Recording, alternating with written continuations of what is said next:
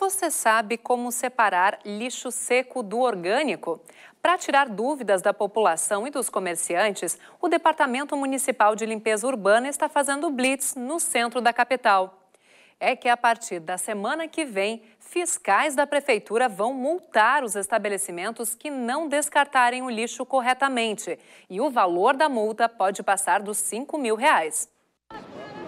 A Blitz teve como foco os estabelecimentos comerciais da Rua dos Andradas. Eles são os principais responsáveis pelo lixo gerado e descartado incorretamente nas redondezas. A gente separava uma certa quantia, quando passava um carroceiro, a gente entregava para ele, né?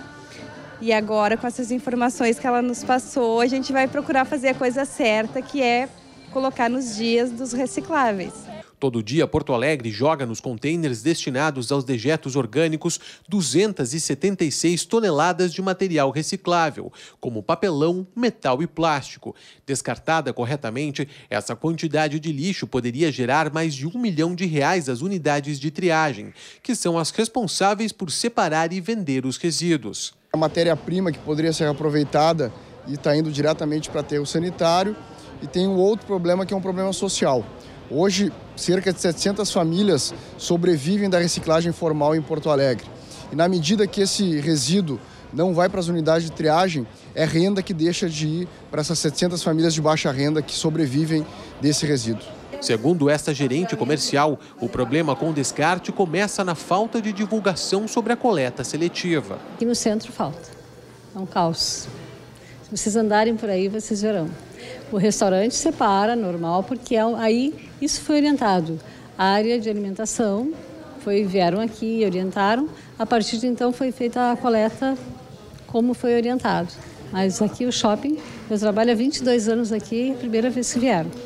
Mas para a coordenadora de serviços comunitários do DMLU, o problema no centro é outro. Centro, né? Uh, lojas, há uma rotatividade de, de, de imóveis, às vezes uh, está no, nesse bairro, passa para outro.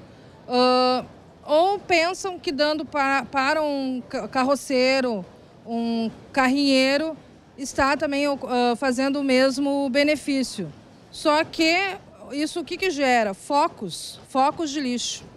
Então, fique atento. No centro, a coleta de lixo seco é feita nas terças, quintas e sábados, a partir das 6 horas da tarde. Se o lixo for orgânico, aí sim você coloca nos contêineres.